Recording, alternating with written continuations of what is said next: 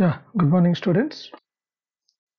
In this video, I will be discussing on how to run .cc file, .pcap file, .tr file and .xml file using Network Simulator 3 and uh, respective applications to open the files.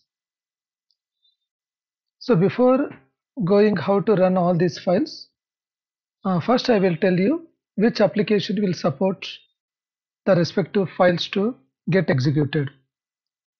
If you take .cc file, so we need uh, uh, the NS3 inbuilt tool known as .waf tools, WAF WAF tools we need. So in order to execute XML file, we need uh, one of the application known as network animator. So in order to execute PCAP files, we need the application known as Wireshark tool. And in order to run or execute or analyze TR file, we need a TraceMetrics application. So we will see one by one. First, let us see how to execute the .cc file. So this is one of the uh, cc file p1.cc. So we need to just copy this file and then we need to paste it in the scratch folder. So where is the scratch folder? So just you can go to desktop. From there you can go to NS all-in-one 3.27. From there NS 3.27. From there you can go to scratch. There you can just uh, uh, write your own code or I already have a code with .cc so I have just copied and pasted it. So once you pasted that file in the scratch folder, then you need to go back to the previous directory that is ns3.27 or I can tell you once again. So in order to run that uh, cc file, so again you need to go to command prompt, right click and then go as a open in terminal so you need to go to in this path in order to run that cc file. So just to go to desktop or first i will go to root directory. Just you type sudo su. This is nothing but super user directory. There i will just go to my root directory okay? Then change the directory to desktop. From there you go to ns all-in-one 3.27 directory. From there you go to ns 3.27 directory don't go to scratch folder you can stop there. Okay here what i meant to say here you should go. Desktop ns all-in-one 3.27 directory from there ns 3.27 so here you can find waf tools. So this is the application which helps in compiling the .cc file okay? Now i am in that present ns 3.27 so being in that directory just you type the command dot slash waf tool that is waf hyphen hyphen run then you should type the scratch because your file is present in scratch folder. And then type program name that is p1 and then click enter. Automatically the code will be executed. Okay.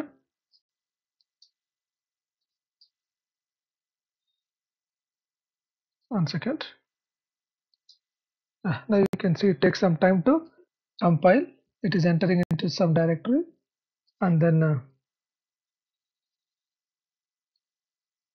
it takes uh, 3 to 4 seconds to execute. So however I have written the complete steps in this file. You can see it for your reference.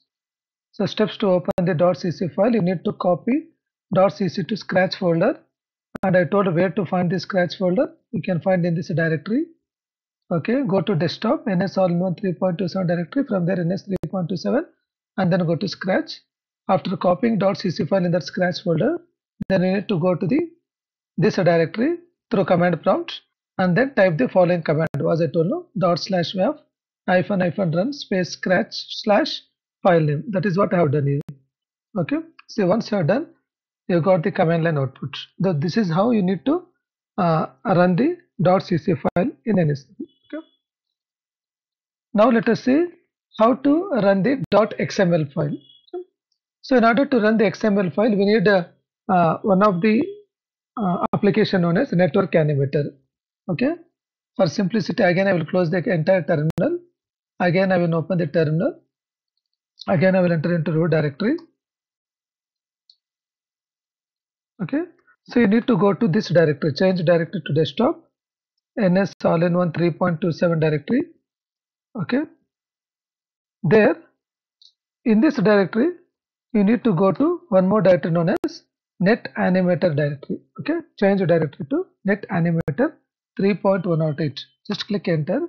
So there you should type dot slash capital N E T capital A N I M that is network animator and then just click enter then the application will open. This is what the network animator application. Just you can browse. From there you can see one of the uh, XML file.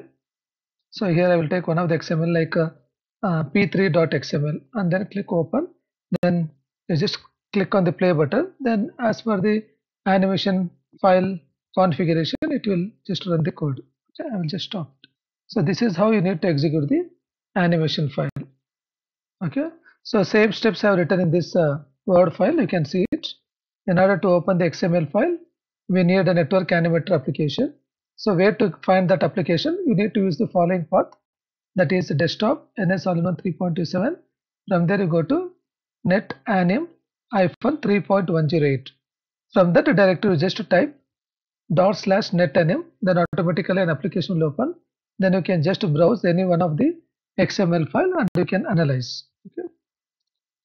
Now let us see how to open the PKF files that is animation files.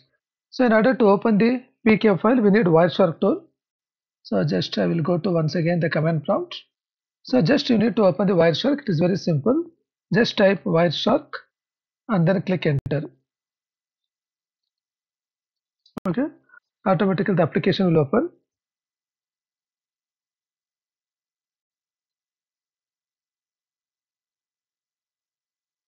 this is what the Wireshark application okay here you can go to uh, one of the interface.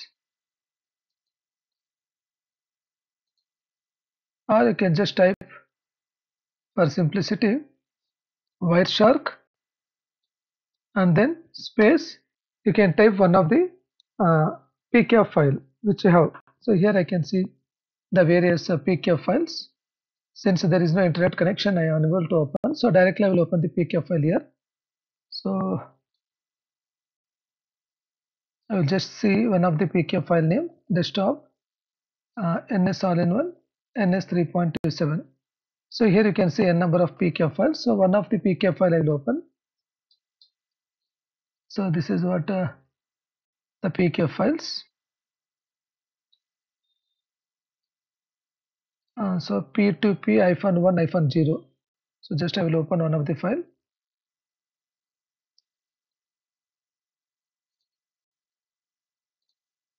so better I will go to same path.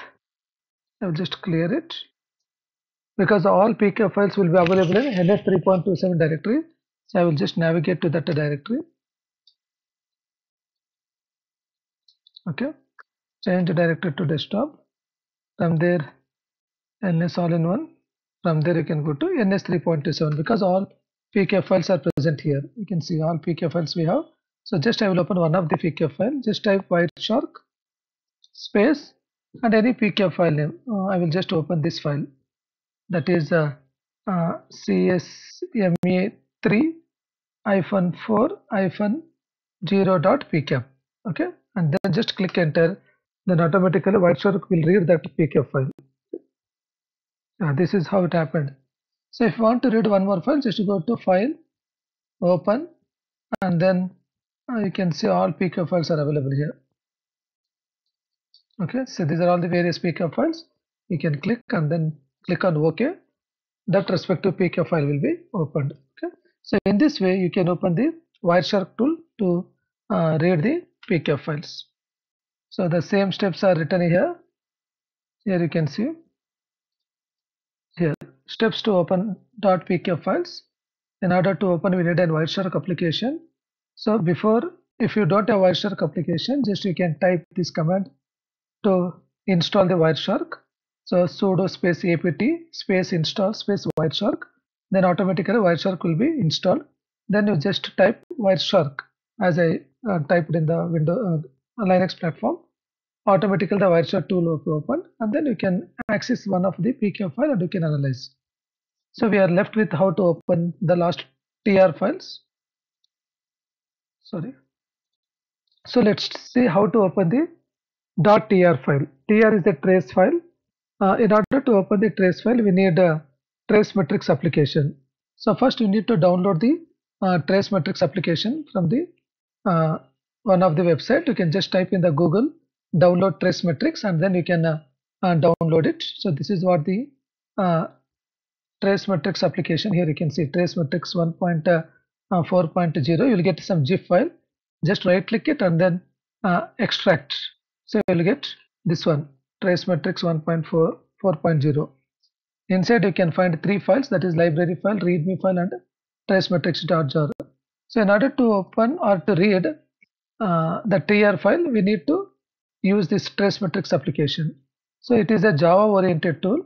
So how to open this TraceMetrics? So just to go to uh, terminal. I will enter into root directory sudo su and then d. So since the TraceMetrics is downloaded in desktop, available in desktop, so I will just change directory to desktop.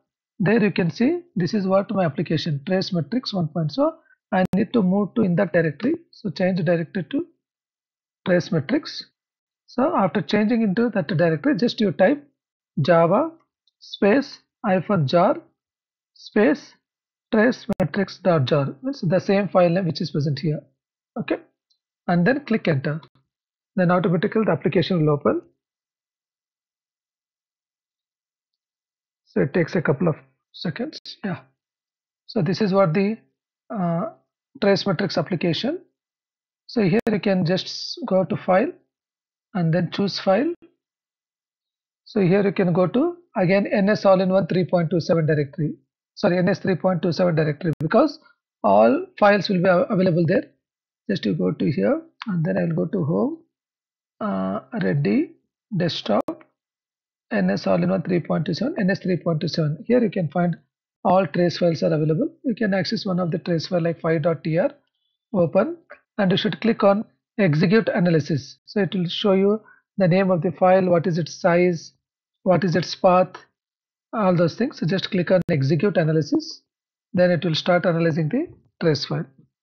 So here you can see the complete uh, uh, trace file options. You can use as per your convenience. So in this way uh, you can uh, open the .cc file using waf tools .pk files using a Wireshark tool .xml file using network animator tool and lastly uh, .tr file using uh, TraceMetrics application. Okay? Hope so enjoyed the video.